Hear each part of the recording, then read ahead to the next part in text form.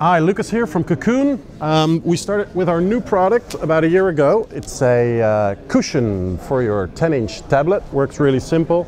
You just sit back, click it in there like that, so you can enjoy your tablet.